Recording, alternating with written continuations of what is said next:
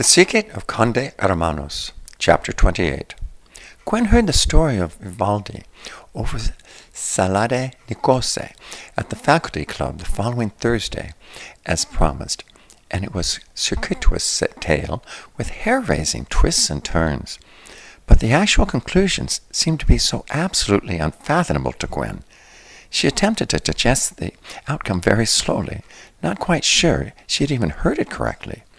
The story began about two years ago with the premature passing of Vivaldi's predecessor, a pug named Scarlatti, who had succumbed to a complication from a soft palate defect at the tender age of four and a half.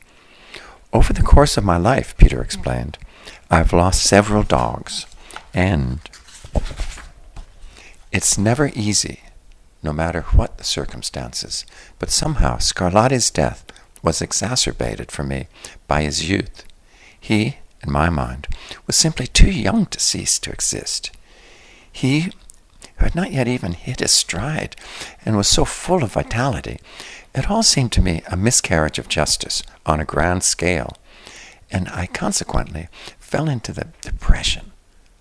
Though I presumed I hid it well, my colleagues nevertheless assured me that I was but a shadow of my former self, concerned for my welfare, attempted over and over to find another pug for me.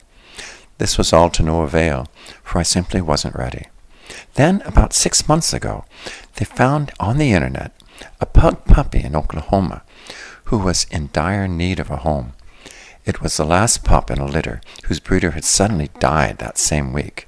His sister, in the midst of all her bereavement responsibilities, and upon hearing of my own loss vis-a-vis my colleagues, offered to send the puppy free of charge at her own expense.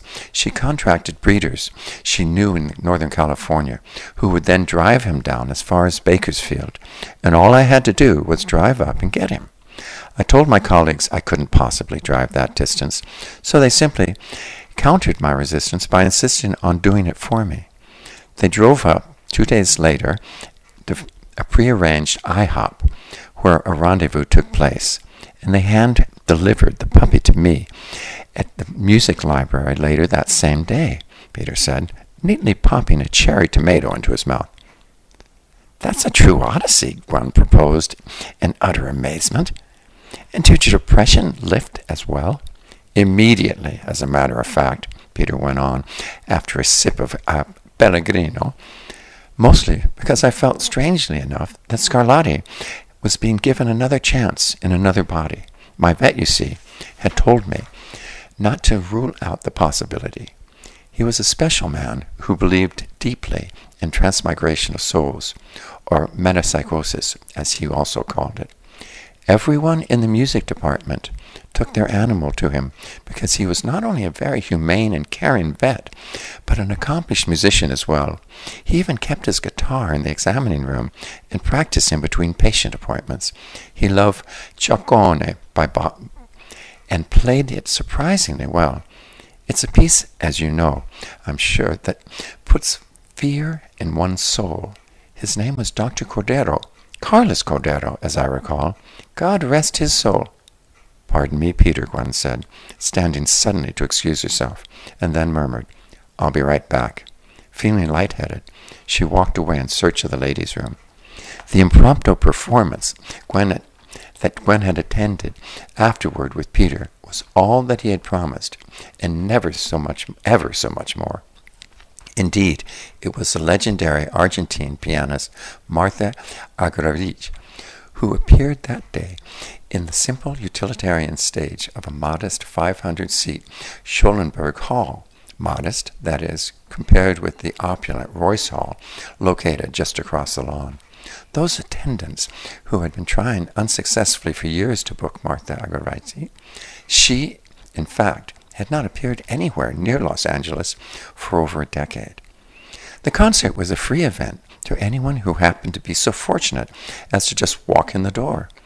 It was in actuality not a concert at all, but a loving 70th birthday present from Martha Argerich to her dear friend and colleague, Russian pianist Vitaly Margulis, who had joined the UCLA School of Music five years ago.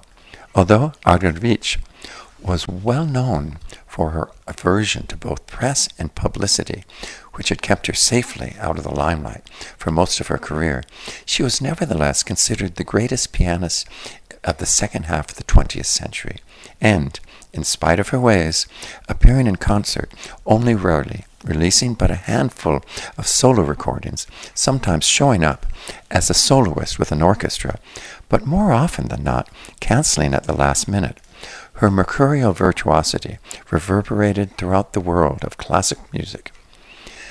The first half of the concert began with an impressive performance by five Margulis UCLA students and was followed by Argerich, who accompanied Vitaly's daughter, cellist Natasha Bugalis, and then played the piano concert duets with her son, Hura.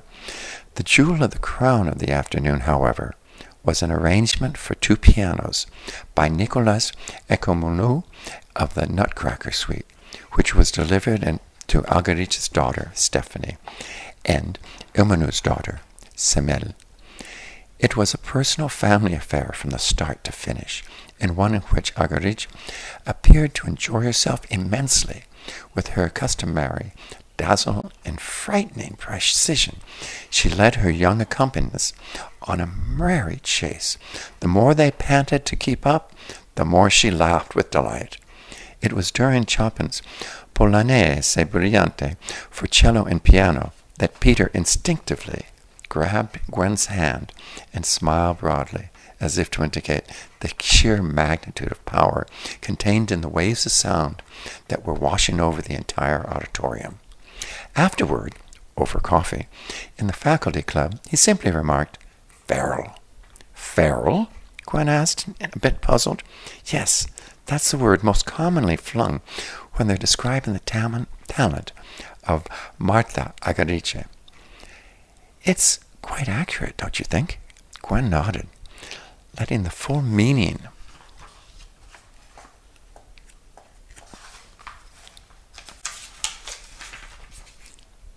of the words sink in.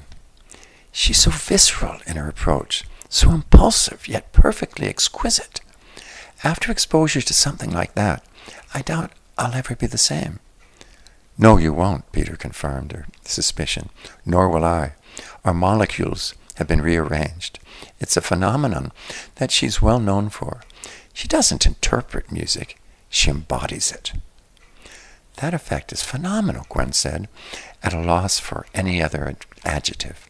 However, Peter digressed, winking and clearing his throat.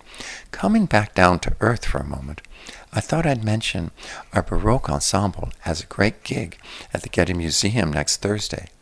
Seems there's a trustees meeting with wine and cheese in the inner atrium, and afterwards I'd like you to come as my guest. We've been asked to play with winter and spring from Vivaldi's Four Seasons as kind of homage to the time of year as well as a tribute to one of the most beloved paintings in the museum collection, Spring, by Laurence Adam Dasma. Are you familiar with it? I am, actually, Gwen admitted, feeling slightly dizzy again. There's a copy hanging in the house where I live. It was a gift of the deceased owner to his wife, and had great sentimental value for him. Oh, said Peter, sniffing the air like a bloodhound getting a fresh scent. Then he was a man after my own heart, was he? A hopeless romantic. What, out of curiosity, was the good man's name? Dr. Cordero. Gwen blushed, smiling sheepishly. Dr. Carlos Cordero.